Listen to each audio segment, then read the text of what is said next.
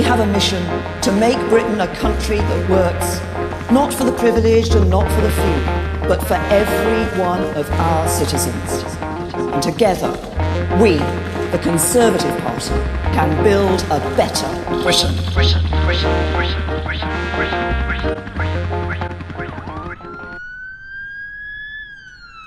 Well, speaking of the NHS and tax, there's another story in the Times today which I'm going to bring up next time about the NHS avoids paying tax. So, you know, it's just a mess. And uh, they're spending millions a year on tax avoidance consultants. And uh, we've got, but, it's a, but the NHS is uh, a state mm -hmm. um, an enterprise organisation. So you, you pay, the, the, we pay our taxes, they go to the Treasury, the Treasury decides how much they're going to give the NHS, and then the NHS has to pay tax back to the Treasury. Um, mm. It's just ridiculously messy, isn't it? Well, it just, it just seems like a financial black hole. You know, you just chuck more and more money in it, mm. and well, it always needs more money. There will never, be, you know, there will never be enough. That's just the nature. But the alternative is to go to like a European-style insurance social insurance policy, which... Which we don't want.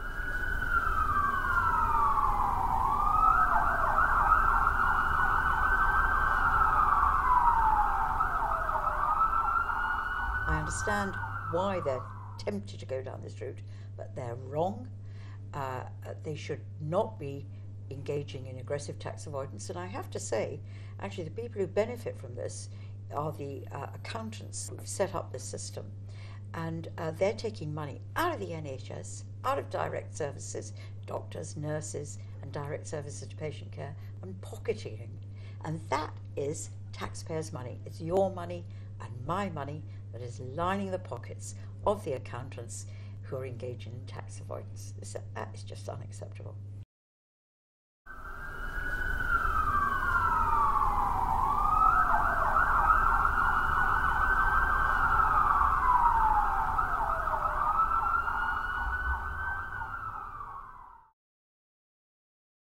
They're looking at creative ways of not cutting frontline services and thinking about how they save money. And what we have here is some complex, opaque tax models that have been developed by large accountancy firms, which they've taken to the NHS and said to them, here's a way in which you can save all of your VAT payments on temporary staff. That's a very large number, and in reality, we can't see any other benefits to the NHS other than avoiding tax. Unfortunately, these schemes have now evolved to pass the employer's taxes on additionally to the worker unlawfully. Now we are seeing workers being charged their own employers' NICs and unfortunately even the apprenticeship levy, which is a tax on big businesses with turnovers over 3 million. Worst of all, most affected are from BME groups, giving this uncomfortable echoes of Windrush.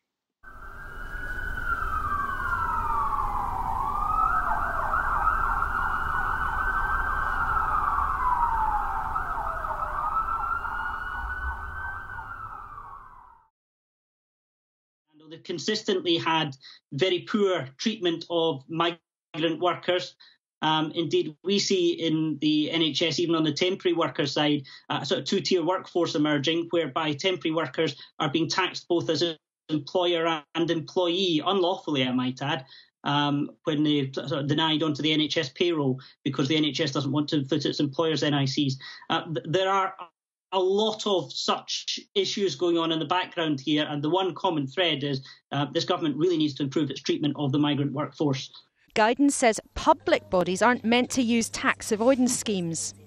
Outrageous. We showed it to the senior MP who spent months highlighting loopholes.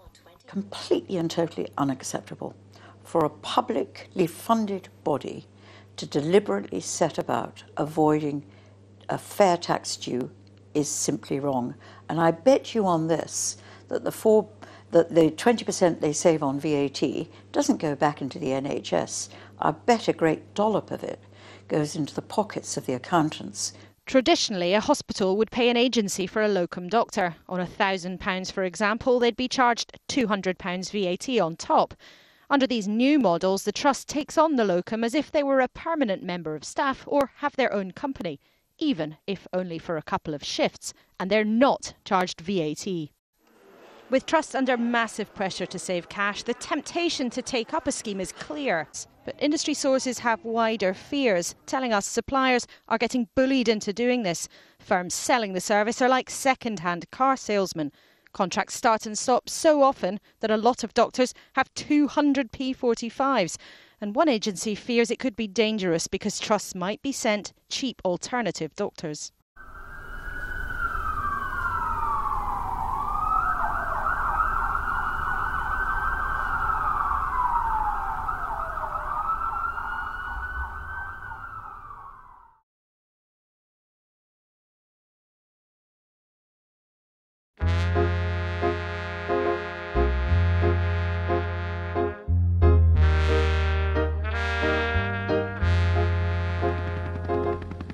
We have a mission to make Britain a country that works, not for the privileged and not for the few, but for every one of our citizens.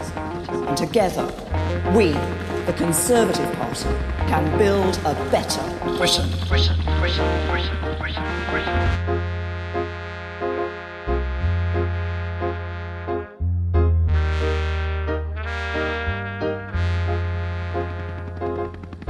We have a mission to make Britain a country that works, not for the privileged and not for the few, but for every one of our citizens. And together, we, the Conservative Party, can build a better Britain. Britain, Britain, Britain, Britain, Britain.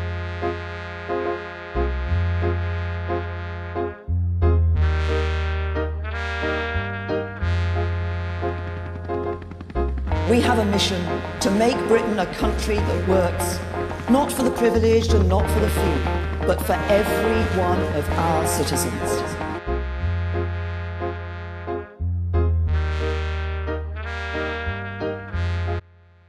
At IHPA, we have a very simple solution to this problem, and it's three steps. One, ban NHS Trust from doing this, absolutely and in categorical terms. Enforce it strictly. Two, increase the budget of the NHS to cover the amount of VAT which has been avoided, and by the way, this amount is considerable. Include the commission element. And three, as a result of the above two steps, the NHS will enjoy a massive budget increase at absolutely no cost to the current Treasury bottom line. All the money that would have been going commission will go to frontline services, where it should be.